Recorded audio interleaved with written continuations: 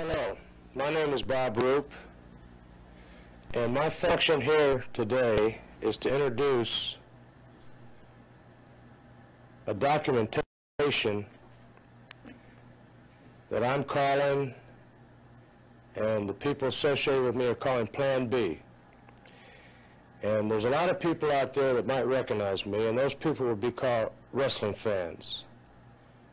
The greatest majority of you won't recognize me because you're not wrestling fans.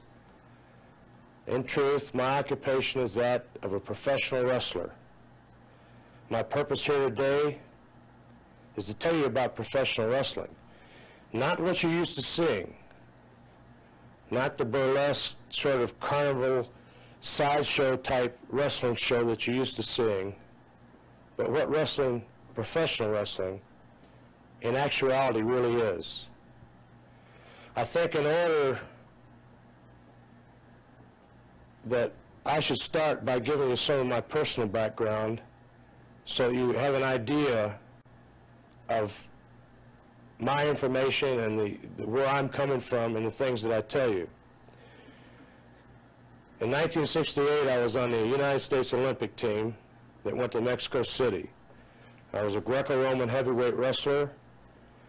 After competing in the, in the Olympics, I returned to the college I'd been going to, Southern Illinois, and graduated a year later with a liberal arts degree. I had been offered a variety of jobs, uh, teaching, coaching, working for the government, but none of them matched uh, the money first and in a way the mystique that professional wrestling had to offer. Now I'd always heard that professional wrestling was fake. We've all heard that. But I didn't know. And it is a very closed society. I found that out right away. Well, I've been in wrestling 10 years now. In those 10 years, I've gone from one being awed by that mystique and being taken in by it. I've gone from one being, in a sense, grateful to be a member of a secret club, a closed fraternity, you might say, and that's what professional wrestling is. I've been a preliminary wrestler. I've been a main event wrestler. I've been a booker. And a quick definition, a booker is a man that works in a particular wrestling area that arranges all the matches. He, he directs the television show to create that certain effect that will try to draw people into the, the wrestling arenas to see those matches. He secures different wrestling talents, uh, exchanges talents. He handles the day-to-day -day operation of the actual promotion. He's the director. He's called a booker in wrestling uh, vernacular. I've been a booker, and, and again, a director, and then I've moved up to the final step in wrestling promotion, that of a promoter. I've been a promoter. I've actually promoted wrestling matches. I've promoted myself in wrestling matches, and naturally I couldn't let anybody know that I was promoting myself because there would seem to be collusion. So let's go back over that again briefly. The Olympics, college degree, the entire spectrum of experience in the wrestling business. And I've been in it 10 years now, professional wrestling. And it is just that business. And I just want to say one thing. In all the time I've been in professional wrestling, I have never, ever had a real wrestling match. Every match that I've been in, or so-called match, has been merely an exhibition that was designed to attract fans to come in, to see the matches, to get their money, and they, the only problem with that is that the matches have been billed as they've been tried to create the effect that these matches were in effect going to be real matches, that the people were mad at each other. That has never been the case. I've wrestled in Europe, the Far East, all over the world, Australia, Japan, and all over the United States, and I've never had a real match. You have no reason, most of you out there that are seeing this documentary have no reason to take my word for it. You don't know me, and unless you're a wrestling fan, you've never seen me before. For that reason, I would like to offer some corroboration. I'd like to introduce a friend of mine, a gentleman named Larry Simon. His experience, 25 years of wrestling. Larry, I'll let you tell your own story. Thank you, Bob. I, uh, I'm used to being in front of the TV cameras, but in a different light. I'm used to being a performer. As Bob said, my name is Larry Simon. I'm from Newark, New Jersey, and I've been wrestling professionally, uh, may I correct Bob, 27 years. I have had, I'd say, uh, four or five years of amateur experience. I have, from the amateurs, became a professional at a young age of 18 years old. And I am now 47 years old. And I've been wrestling all this time. I was in the professional ranks at 18, as I just got done saying. And when I was 18, I was in the preliminary matches. And I stayed in the preliminary matches for approximately, I'd say, seven years. I wrestled in and around the New York area. When I went out from the New York area, I went to Houston, Texas. I then took on a so-called gimmick or an image as a Russian. And my name was changed to the Great Malenko. And I have been wrestling for the last 20 years as the Great Malenko. I have been what they call on top of the ladder. On top is a vernacular we use in our business for 20 years. I have wrestled all over the country. I have been on top in Florida, the Carolinas, the Tennessee area, Nebraska, Texas, and my trademark through the years, people that have been watching wrestling, people that have followed wrestling, have known me as a person that stands in that camera each week with his eye cocked like this. And this is my shtick. This is my gimmick. I would say something in reference to this. My voice would change. I would accumulate an accent as I'm talking to you here and now. I am 230 pounds of mind and muscular coordination that is unbeatable. This is something that I am an expertise at. But as well as the light side, I would like to show you something else or tell you something. I have never had in all the 27 years of being a professional wrestling what you call a real wrestling match. You can call it whatever you want. It was a planned type of match. I knew who was going to win and I knew who was going to lose. It was all set up before I ever went out to wrestle. But one thing at one time did occur in the match, even though I did not never get hurt seriously in a professional wrestling match, coming out of the ring in Richmond, Virginia, and I have wrestled all over the world. I had a fan cut me on the side, getting angry at me and my tactics, and taking a slice of my side, which caused me to have 70 stitches. Now, I would like to one more time reiterate and say that I have never in all my 27 years ever, ever had a real wrestling match.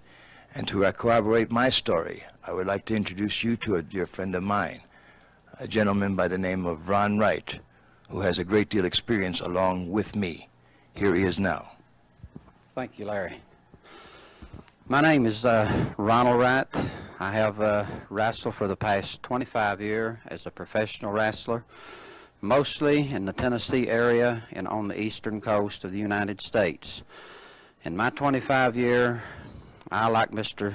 Malenko, have never had a real, legitimate wrestling match. My wrestling matches have all been pre-planned and worked out before ever entering the ring in any of the cities that I have ever wrestled or more like that I've ever performed in. Uh, myself, like Mr. Malenko, The uh, only real fights that I have ever had in professional wrestling in 25 years has come from the spectators.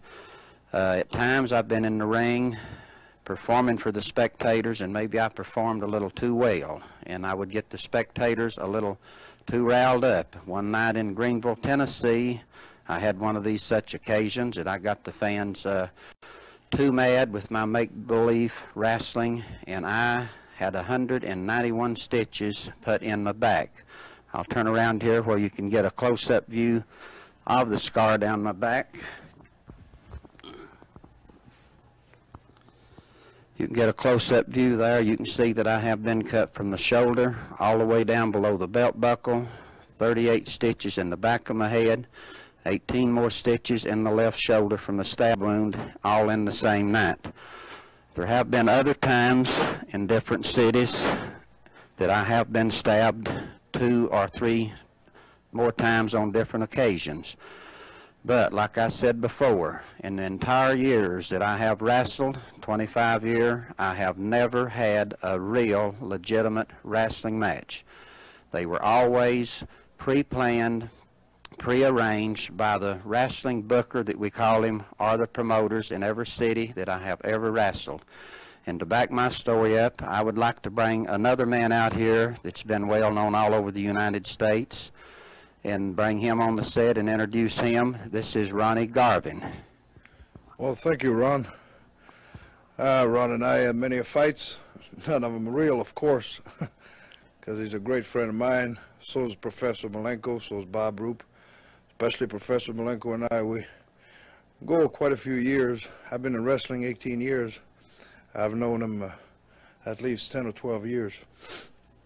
Uh, Professor Malenko and I, we had some great matches that people believe. Even at times I was uh, almost believing him. That's how great of an actor I consider myself. So is Professor. I respect his talent as an actor, as a performer. Uh, I'm from Montreal, and I've uh, I was brought up in the streets, fighting with baseball bats, chains, and uh, wrestling, professional wrestling to me was uh, really something that uh, I looked up to when I was a kid. And I wanted to become a professional wrestler. And I did. And uh, I was kind of disappointed. In a way, in a way not, because money was good. I made good money. I've been a top wrestler for the past 10 years. And uh, especially in part of Tennessee, around Knoxville area, I'm known as a one-man gang. People really believe in me. Well, I can fight, but in all my wrestling career, I have yet to have a real wrestling match.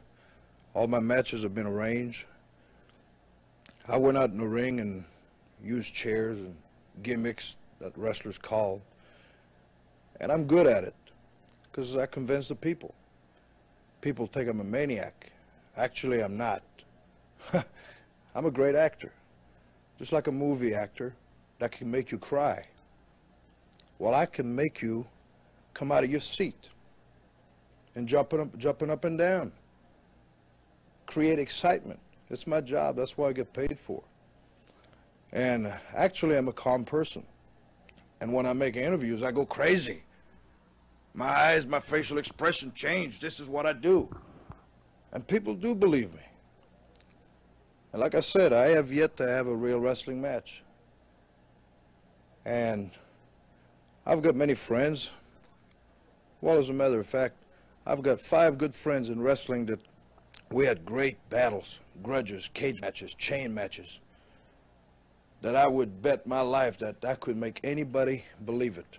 But actually, after it's over, we're probably drinking a beer, smoking, eating, you name it, we do it loving together, parties. That's the way of life in wrestling. Now I've got a good friend of mine. I've got, I've got great respect for him. He's a great performer. I love to work with him. The word work means wrestle, because actually we work together. I want to introduce you to him. His name is Bob Orton Jr. Hey, Ron, I appreciate the introduction. They didn't save the best for last, believe me. They saved the youngest for last. Because these are honest people and the youngest should go last. But ladies and gentlemen, I would like to tell you this. I started going to the wrestling matches at the age of five years old. And I believed everything I seen. I mean, when people got thrown out of the ring and got split open and the blood flew, hey, I believed it. And yes, I become excited. But then one night, I seen a man in the middle of a wrestling ring and another man named Fred Blassie looked like he was ripping his eyes out of his head. And I broke down into tears and I actually went into hysterics. I was hard to control. You know who that man was? My father, Bob Orton Sr. And that night home in the car, when I was eight years old, I'm still crying. I'm wondering how Dad can see while he's driving down the road. Well, Dad told me, Bob, there's nothing to worry about. Everything that goes on in a wrestling ring is a fabrication. It's something that you do to make wrestling fans believe that what you're doing is real, but in actuality, it's not. And yes, from that point, I grew into a teenager and I become very interested in wrestling. And I become an amateur wrestler. And no, I was not a Bob Roop. I didn't go to the Olympics. I was not a national champion. But I was a three-time state champion in three different states, and I was an All-American. And then, lo and behold, I broke into the pros. And I'll tell you something, ladies and gentlemen. Since the time I started professional wrestling, I'm 29 now. I started pro wrestling when I was 21. I have never had a real wrestling match. And you can look at it as good or bad, whatever, but what I'm saying right now is that when you see professional wrestling, the winner and the loser is determined. The worst any wrestler that I know has ever been hurt in the ring, broken arm, broken leg, is an accident. And of course, we've already seen Professor Malenko, Ron Wright, out here showing the scars where an occasional hot-tempered audience may use a knife, slice a man, throw a rock at a man's head or whatever. But what I'm going to do right now is I've told my story. I've told you the truth. We're honest people. I'm going to give this back to Bob Roop because he is the man. Ladies and gentlemen, those of you watching this, what you're seeing is historic in a sense because of the fact that nobody's ever had the courage and in a sense the dignity to come out here and say the things they've been saying. We've all been conditioned to protect the wrestling industry because it is big business. It's a billion dollar business. They only report about 330 million of it a year. Third largest spectator sport. But it is big business and we've been conditioned to protect it even though it is a fraud well, this is just the outline. This is the first part of a mini-series that we have planned.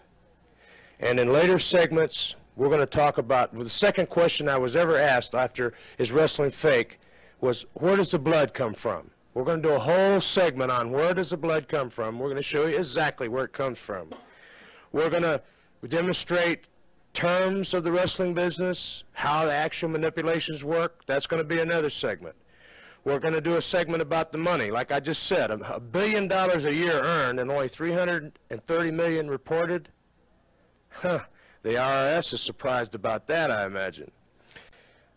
We're going to talk about legal prostitution, great big muscular wrestlers being in effect just prostitutes. Prostitutes with muscles, we'll call that segment. We're going to talk about the mon monopoly of the wrestling business. It's a monopoly, and we're going to talk about the political connections that enable it to stay a monopoly. We're going to talk about the impact of homosexuality on the wrestling business. We're going to talk about drug abuse in the wrestling business, and it's prevalent, believe me. We're going to talk about the federal laws that are being broken knowingly with the cooperation of federal authorities.